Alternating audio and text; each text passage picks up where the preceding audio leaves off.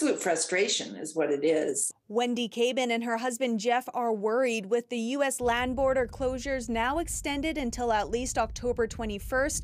They may not make it down to their Arizona property for the second year in a row. The retired couple has been traveling to Mesa, Arizona for more than 14 years. Last year, due to COVID 19 restrictions, they were not able to use their property, a property they are still paying for. It works out to probably around 12,000 Canadian that was wasted last year. On Monday, U.S. President Joe Biden announced the land borders will remain closed to non essential visitors. The ban, however, does not apply to air travel. I think the bi- biggest problem for snowbirds is not understanding why you can fly but you can't drive a frustration felt by snowbirds across BC. According to the Canadian Snowbird Association, 70% of snowbirds travel with their vehicle. As I hear from many of our snowbirds, it's much safer for them to be in their vehicles driving across the border rather than having to go through airports. It's a concern for Camilla Labine, who says her family has to travel down south every year due to her husband's medical reasons. We just can't live here in the winter. It's too cold, and my husband gets very, very sick.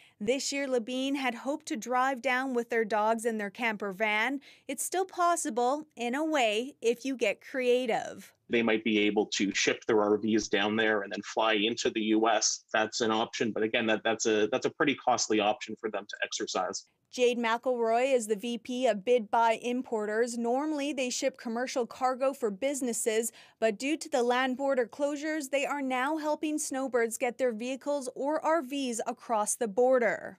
When we saw um, how many people needed to get across and wanted to get across, we have a website, and the inquiries just flew in with people that were like, Can you just get my car across the border? It's an option some BC snowbirds are saying is just too expensive. They don't have like 1,500 to $2,000 to shell out. So for now, many who want to head south are still anxiously waiting, hoping that in November the border reopens. Janella Hamilton, CBC News, Vancouver.